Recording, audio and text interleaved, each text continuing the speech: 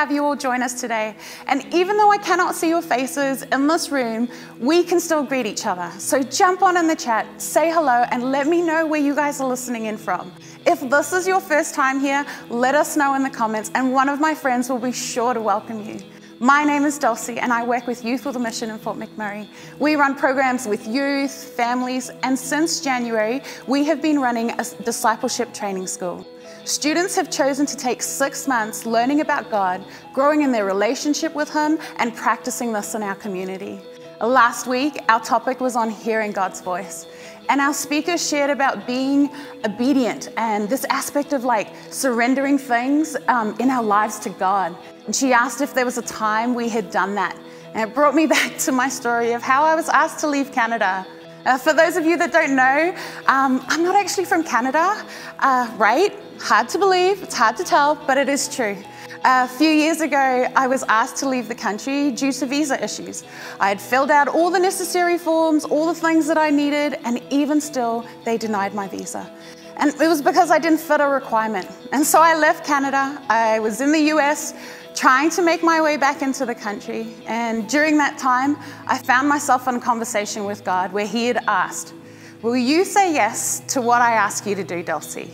Uh, at that moment, I felt like God might be asking me to surrender my plans for myself, what I wanted. I thought I would be going back to Australia, I would be denied entry into Canada, and that I would have to give up my life here in Fort McMurray. Thinking about leaving Canada, it broke my heart because my life was here, my friends are here, the boys I nannied were here. But okay, God, I trust you. If you say so, I will say yes. Uh, in Luke chapter 5, Jesus notices empty boats and the fishermen were cleaning their nets. And in verse 3, it says, Stepping out into one of those boats, Jesus asked Simon, its owner, to push out into the water.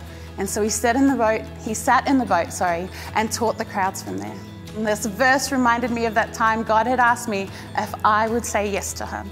So let's keep reading. In verse 4 and 5, it says, When he had finished speaking, he said to Simon, Now go out where it is deeper and let down your nets to catch some fish. Master, Simon replied, We worked hard all last night and didn't catch a thing.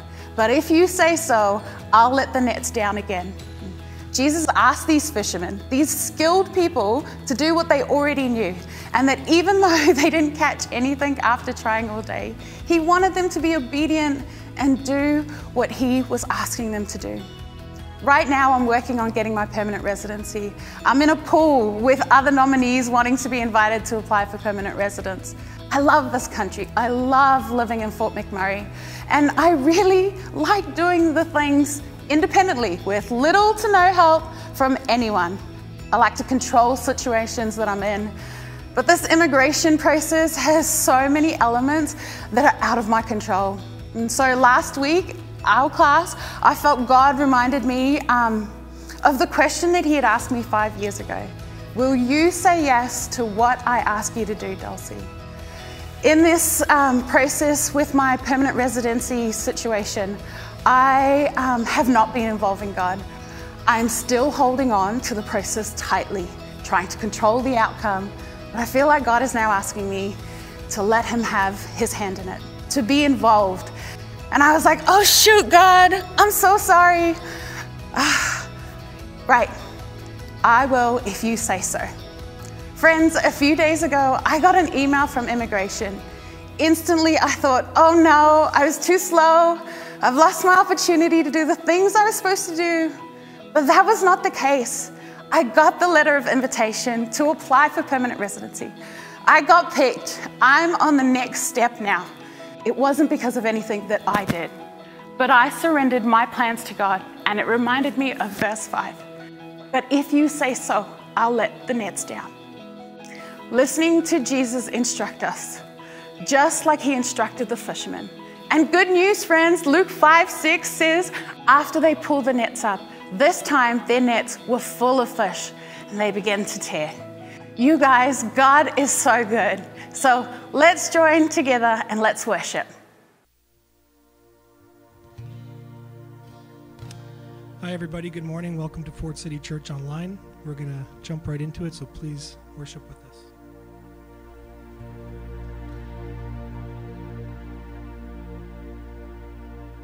Ghost is a fire,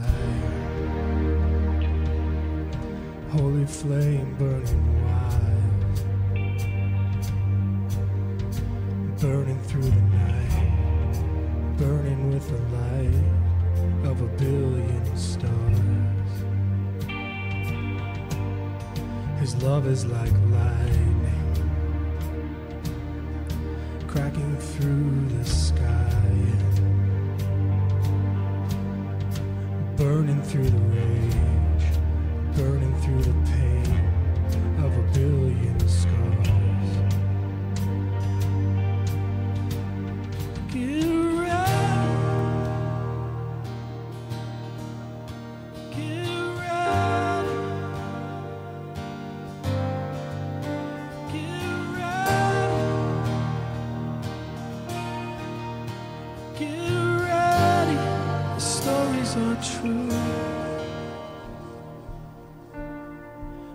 ghost is inside me. Holy fire burning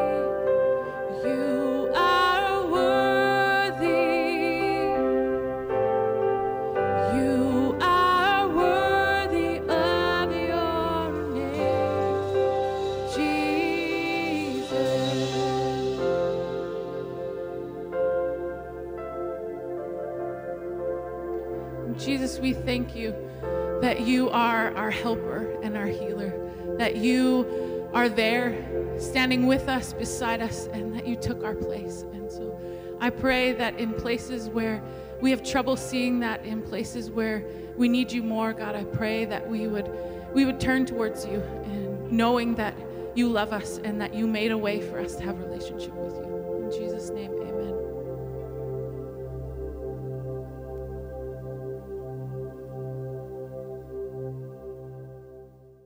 Hey there, as we get to that point in our service where we worship God through our giving, I, I want to ask you a pointed question. Have you ever told God no?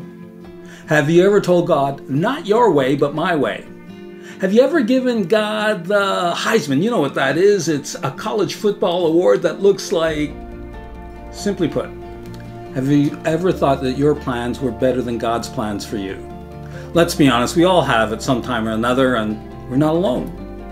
There once was a fisherman named Simon who had been fishing all night and caught nothing. He was sore, in pain, and incredibly tired.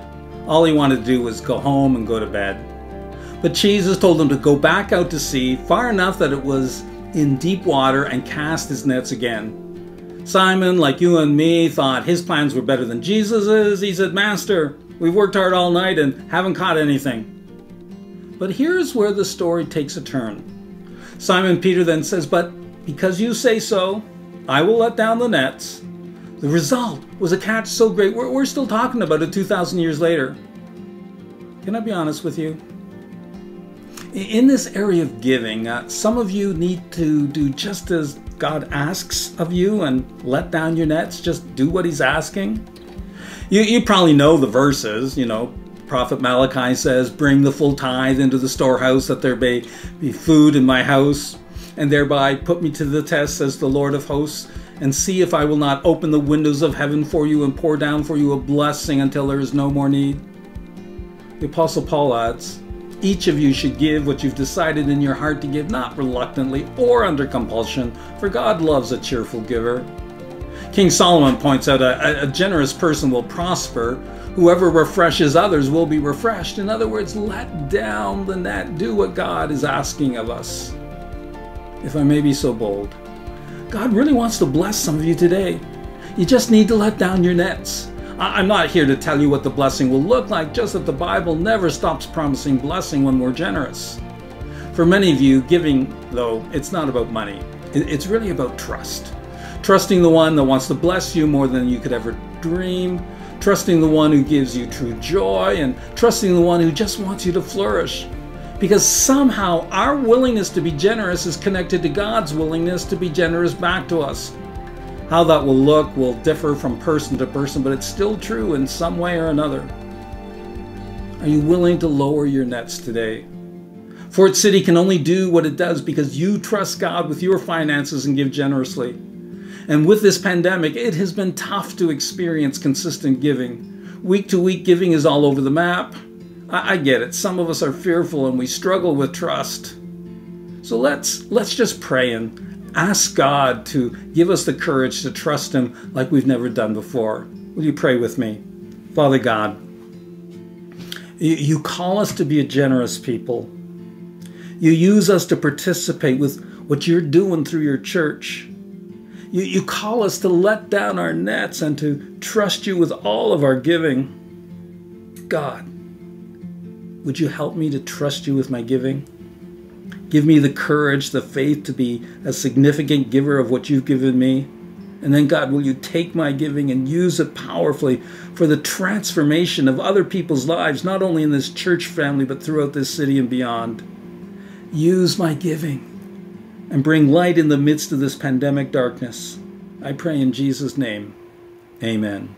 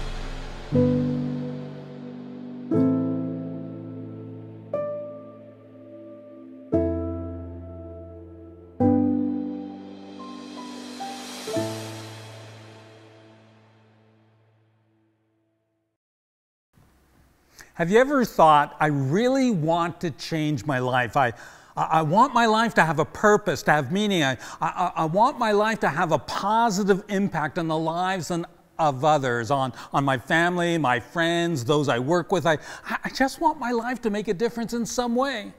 I, I think we all do, or at some time or another we do, right? Mark Batterson, uh, a, a pastor in Washington, D.C., made this statement that I, I'd like us to grab a hold of. If you want to change your life, start by changing your story.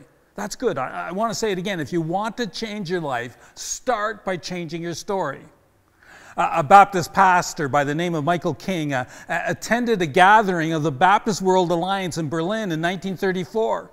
While there, he, he became very fascinated with the story of a German monk who, who had been the leader of the Protestant Reformation. He saw in this leader, Martin Luther, a, a, passion to push back on the status quo religious establishment of his day that he just really resonated with so deeply. Martin Luther so inspired Michael King and King's deep convictions about civil rights and the plight of black Americans that he changed his name from Michael King to Martin Luther King. Michael King, now Martin Luther King, had a five year old son named Michael Jr. And he changed the name of his son so that Michael Jr. became known as Martin Luther King Jr. For the rest of his life, those close to Martin Luther King Jr., they continued to call him Michael. But to the rest of the world, he became known as Dr. Martin Luther King Jr., the, the most prominent leader of the American civil rights movement to this day. The composer, uh, Johannes Christoph Wolfgangus Theophilus Mozart, that's a mouthful, Mozart. Mozart changed his names many times. The reason wasn't because it was such a mouthful and so long, but according to one of his biographers, he was just experimenting with different identities, with different ways he wanted to serve the world. Hey, I'm sure that you know that many of Hollywood's household names are nicknames like Vin Diesel, because that's way too cool of a name to be a birth name. That is true of Whoopi Goldberg, Elton John, John Legend, and Lady Gaga. We see this in the Bible as well. God turned Abram into Abraham, his wife Sarai into Sarah. Uh, the name change of Jacob into Israel was a whole lot more than just a name change. It changed Jacob's story into a new identity, a, a new destiny, not just a new name. Jesus gave one of his uh, apostles, Simon, a new name, Peter, the rock, and then he attached a destiny to that name. And I tell you, you are Peter, and on this rock I will build my church, and the gates of hell shall not prevail against it. Jesus even gave the disciples uh, James and John nicknames sons of thunder. A couple of weeks ago, I told you the story of the name that was given to me at my Roman Catholic infant baptism. My parents had named me Douglas Daryl Doyle, uh, with my middle name coming from my uncle. The bishop baptizing me, though, he, he wanted me to have the name of a hero of our faith, a saint's name, and so he gave me the name Stephen, so that my name became Douglas Darrell Stephen Doyle.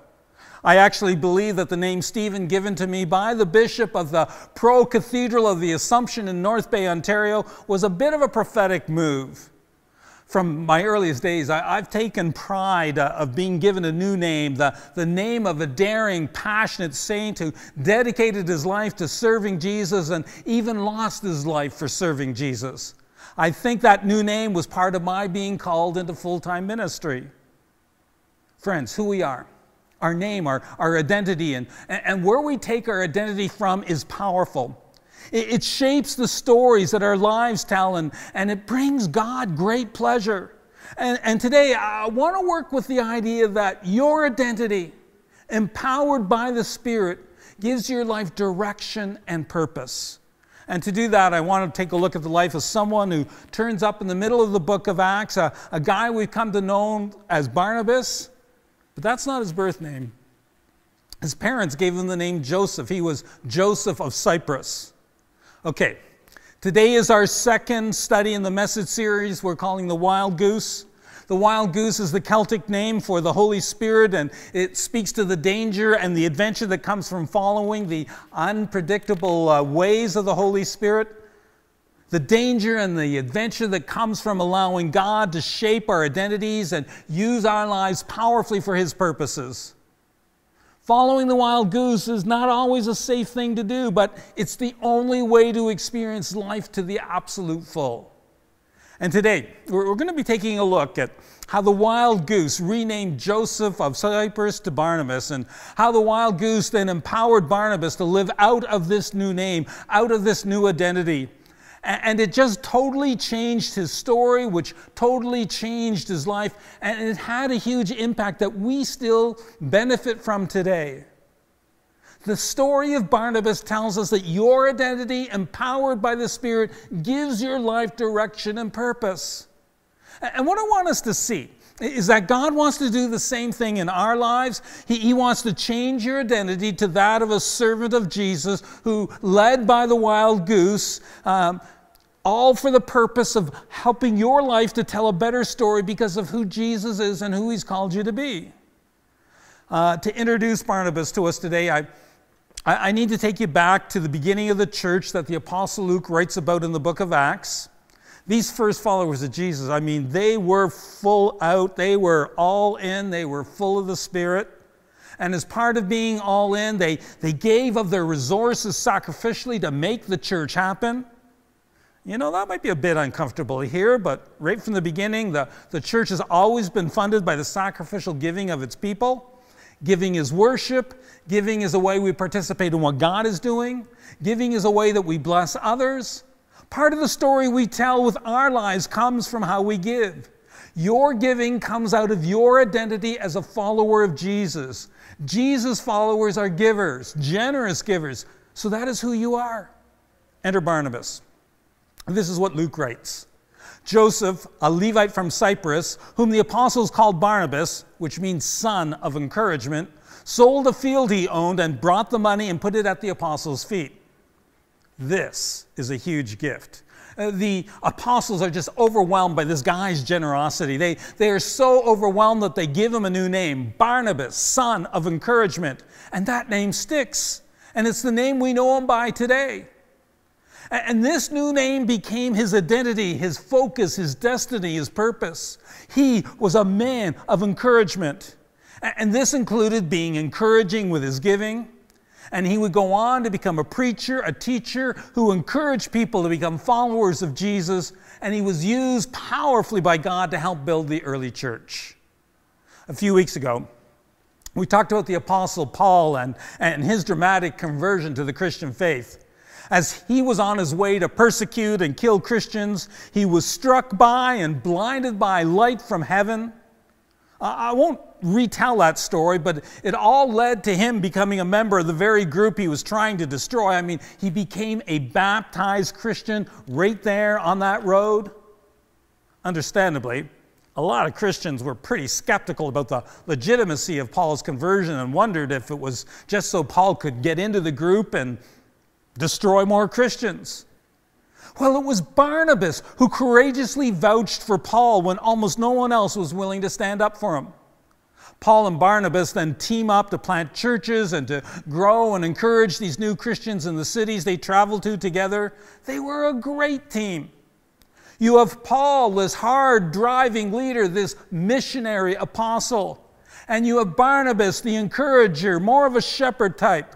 They were opposites that complemented each other. On their first, what we call a missionary journey, they took along with them a guy named John Mark. This is Mark who wrote the Gospel of Mark. And as they continue on this church planting trek, Luke makes this interesting comment. Paul and his companions then left Paphos by ship for Pamphylia, landing at the port town of Perga. There, John Mark left them and returned to Jerusalem something happened. We don't know what it was. But John Mark bailed on his mission. He cut out early. Maybe he couldn't hack it. Maybe there was relational conflict on the team. We, we just don't really know. What we do know is that it, it ticked Paul right off. Paul is his driving leader. He has no time for someone who can't carry his own weight, let alone bails halfway through a commitment. Again, we don't know what the issue was, but it was big enough in Paul's mind that he wasn't taking uh, John Mark on any more missionary trips. He was like totally done with John Mark. Barnabas, the encourager, sees potential in John Mark. He's not just willing to give him a second chance. He's willing to put his relationship with Paul on the line in order to support and encourage the potential he sees in John Mark. Luke writes, sometime later, Paul said to Barnabas, Let's go back and visit the believers in all the towns where we preach the word of the Lord and see how they're doing. Barnabas wanted to take John, also called Mark, with them. But Paul did not think it wise to take him because he had deserted them in Pamphylia and had not continued with them in the work. They had such a strong, such a sharp disagreement that they parted company. Barnabas took Mark and sailed for Cyprus, but Paul chose Silas and left, commended by the believers to the grace of the Lord. He went through Syria and Cilicia, strengthening the churches. You know, I love that God continues to use Paul and that God continues to use Barnabas, despite the sharp disagreement and, and this really like rough ending of their ministry relationship together. I love that Barnabas didn't back down. Barnabas may be an encourager, but he is not weak, not at all. He knows who he is, he understands his identity, and with confidence, he operates out of his God given identity son of encouragement. Paul is also one strong willed leader who was not about to be persuaded to change his mind. I love that Paul knew the type of person he could work with, the type of person that would drive him nuts, so he built his team around those kinds of realities. Paul, too, knew who he was and operated out of his God given identity, the missionary apostle.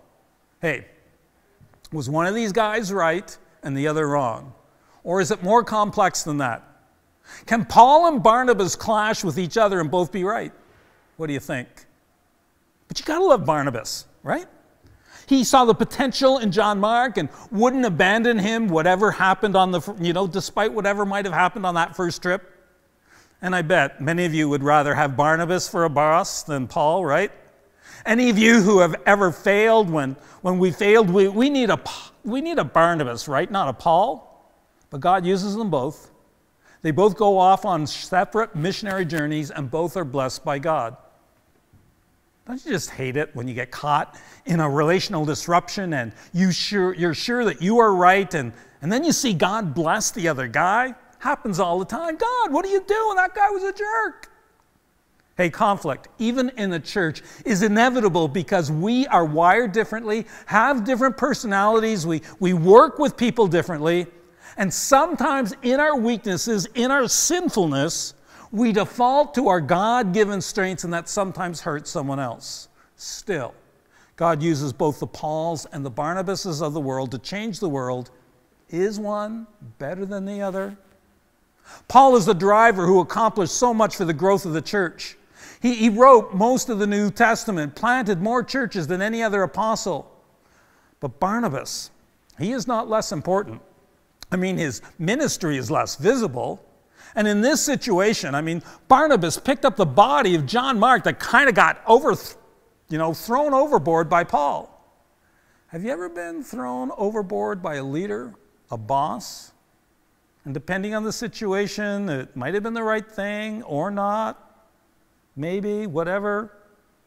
The good news is, however that worked, God usually has a Barnabas around to pick you up and get you up and running again. We need both the Pauls and the Barnabases of the world. But let's look a little more at Barnabas and the special ministry God gave to him as a son of encouragement and why it's important. Barnabas is in Jerusalem. When word reaches the church in Jerusalem, uh, Christians are being dispersed all over the place now because of persecution. And, out of that persecution, a, a church has been established in Antioch. Antioch is in what is now uh, south central Turkey, about 750 kilometers north of Jerusalem. So, this is no Jewish area. This is a vastly different environment than Jerusalem, where the church started. I mean, the church started mainly as a mainly Jewish, really. And, but it's here in Antioch where the followers of Jesus are first called Christians. Because you can't call them Jewish. You can't even call them Jewish followers of Jesus. They're far from all of that. What we have is the first non Jewish, multi ethnic, multinational, multi class church in Christian history. So, what's happening here? It's big. Sensing the importance of what's happening, the church in Jerusalem sends Barnabas to Antioch. Really, it's the Holy Spirit, the wild goose, that sends Barnabas. And by the way, the wild goose does the same thing with us, all of us, sends us on mission for God's purpose. Well, that's what we talked about a little bit last week. The Holy Spirit, the wild goose, is all about empowering you to serve God. He takes who you are, the identity that God has for you, the name that God has given you, and He uses you for His purpose. And you're here in Fort McMurray because of the wild goose. There, there is a purpose for you being here. If you missed last week's message, give it a listen. Here's what Luke in the book of Acts describes. When Barnabas arrived and saw what the grace of God had done, he was glad and encouraged them all to remain true to the Lord with all of their hearts. He was a good man, full of the Holy Spirit and faith, and a great number of people were brought to the Lord. He was a good man, full of the Holy Spirit. This ministry of Barnabas, this ministry of encouragement, comes from being filled with the Holy Spirit. The wild goose sends a gifted, spirit filled encourager to help this first multiracial, multi class church to work together. I mean, this is no small assignment. This mission needs Holy Spirit power. By the way, the word encouragement that's used to describe uh, Barnabas in the Greek, it's the word parakaleo. The meaning is a little different than what you think of when you hear the English word encouragement. In Greek, parakaleo is a combination of two words the words para, which means to tenderly, sympathetically come alongside, like a paramedic in English, and kaleo, which means to call, as in to call to the truth. Parakaleo means to come alongside and call someone to truth. Biblical encouragement, parakaleo, is a sympathetic, loving insistence upon the truth. As soon as Barnabas turns up in Antioch, man, he just pours out this ministry of encouragement, this, this ministry of truth and love, uh, uh, just wonderfully woven all together. And the people, they just start growing. It's like fertilizer on the soil. Up come the stems, out go the leaves, out come the flowers, down go the roots. Encouragement parakaleo oh, is a powerful combination of love and truth, speaking the truth in love. By the way, what does Jesus call the Holy Spirit? Jesus said this to his disciples just before he went to the cross. And I will ask the Father, and he will give you another helper to be with you forever. And that word helper in Greek is parakletos, or you could translate that as comforter or encourager. And parakletos is just kind of another form of parakaleo. It's that unique blend of love and truth. Hey, every now and then, not often, we need just a little Greek to better understand our English translations. So the Holy Spirit is a love and truth encourager. So, on one hand, we have Paul. He's the guy who busts down the walls of the evil one, who plants churches in enemy territory, who goes where no God fearing Jew or Christian would ever dare to go. On the other hand, is Barnabas. He's the guy who disciples you, you know, gently but very intentionally. Both Paul and Barnabas had a clear sense of their calling that came from their differing God given identities. Paul understood his identity as a missionary apostle, and Barnabas understood his identity as an encourager who gently but firmly leads people to a deeper experience of Jesus. Their God given wirings and identities were not the same, and because they're human, with, with sinful human natures, they allow their different identities and their differing approaches to ministry to lead to conflict. That's just a human reality. But the good news is, they did eventually reconcile. Here's what Paul says while he's in a Roman prison Only Luke is with me. Get Mark and bring him with you because he is helpful to me in my ministry. You see, Christians full of the Holy Spirit forgive, they reconcile, they, they figure things out. Paul swallowed his pride and figured out that John Mark had a lot more to give than what he had originally appreciated. That happened because Barnabas ministered out of his calling, out of his identity as an encourager. And if there had been no Barnabas, what would have happened to John Mark? And would the gospel of Mark that he wrote ever have been written? And the gospel that Mark wrote It served as the foundation for what Matthew, Luke, and John would write after Mark. There are a lot of dominoes here. The bottom line is this you have a name, or maybe better said, you have an identity that is uniquely yours that comes from Jesus. You may not get a new name like Barnabas did or other characters in the Bible did. Sure, Paul also had the name Saul, but that wasn't a new name. They're just kind of interchangeable names. Saul is his name in Hebrew, and Paul is his name in Greek, same name. What changes for Paul is his title, his identity. He becomes Paul the Apostle. Hey, when you ground your identity in Jesus, when you allow Jesus to fill you with the Holy Spirit, He will gift you to make a difference in this world. No matter what your job or profession or whatever it is you do, He will give you a calling within that. He will give you an identity, and you will come to understand what your mission is in your home, on your street, where you work, as you connect deeply with the Spirit. It will be unique to you. Now, I tend to think that more of you will likely be called to be more like Barnabas than to be like Paul. More of you will be given the gift of encouragement, gently, wisely speaking the truth with love. A few of you will be given the gift of being a missionary apostle, a little more bold, a little more in your face. And there are many other gifts of the Spirit that God can give that shape your identity, that in turn shapes how you make a difference in this world. My point is, your identity, empowered by the Spirit, gives your life direction and purpose, no matter what it is you're doing right now purpose where you work, purpose for the street that you live on, purpose for the church that you're a part of. And hey, I just want you to know God, He looks at you with pleasure. He, he made you. He's, he's got this purpose for you. He, he's made a way for you to achieve your purpose through Jesus and being filled with the Spirit. He's pumped and excited for you. He made no junk. You are not junk. You have a divine purpose to fulfill. And right now, that purpose is here in Fort McMurray or wherever you're listening to this message from. So, who is God calling you to be? What, what kind of story does God want to write through your life? What name is He giving you?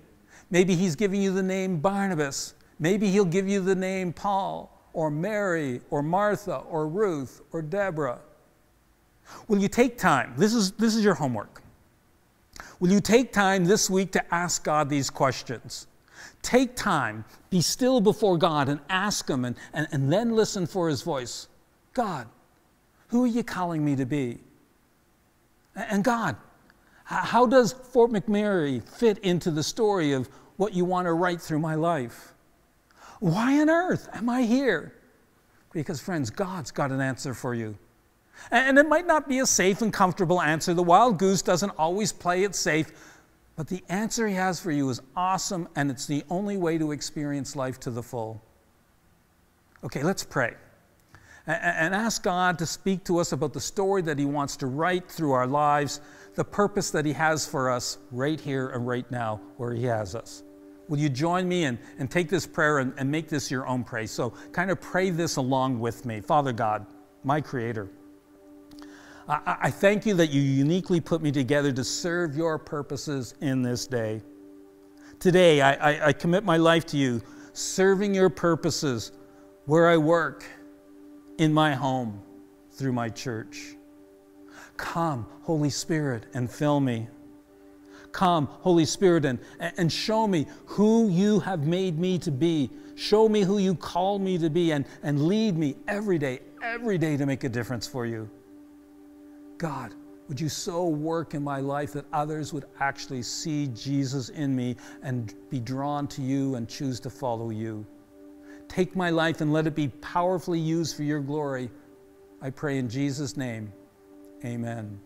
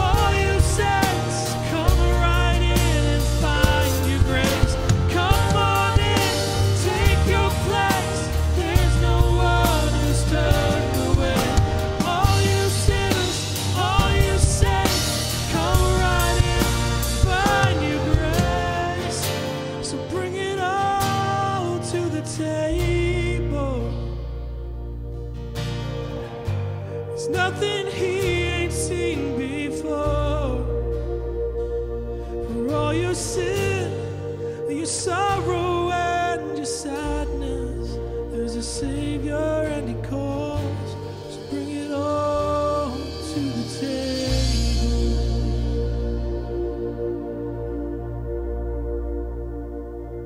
Again, this week, as I do every week, is there something on your heart that our prayer team could be praying with you about? Are you struggling with what your story looks like right now, what it could be, but it isn't yet? And with the roadblocks that maybe you are experiencing in life right now, I just encourage you to message us with all of that so that we can pray, so that our prayer team can pray with you.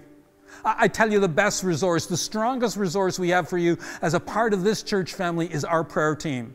Please don't be afraid to message us with your prayer requests. And in closing, let me leave with you an ancient blessing that during this pandemic has become really popular to sing. It goes this way The Lord bless you and keep you. The Lord make his face shine on you and be gracious to you. The Lord turn his face towards you and give you peace. We usually stop there. But, but that's not even the best part. The best part is actually what comes next. So they will put my name on the Israelites and I will bless them. Friends, God doesn't just rename us, He puts His name on us. There are more than 400 names for God in the Bible. Which one does He put on us? All of them. This is how God changes your life. This is how God changes your story. He, he changes our name, which changes our identity, which changes our destiny. Go this week, spend time with God, and discover the name, the identity that, that God has for you, and ask for the Holy Spirit then to fill you and empower you to live out of that identity. And remember, when God looks at you, He is pleased because He knows what your life story what you can be.